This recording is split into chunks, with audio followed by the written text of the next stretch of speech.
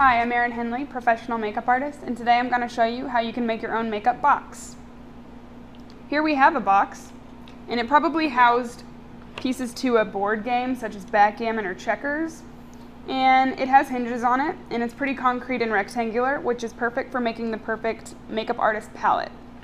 So we can house all of our glitters and our shimmers, our shadows, and then also store a palette.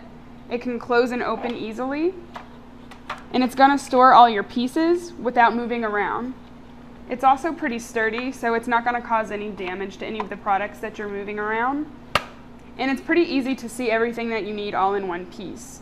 That's key to makeup, is having it all in one place and keeping it organized, as well as safe.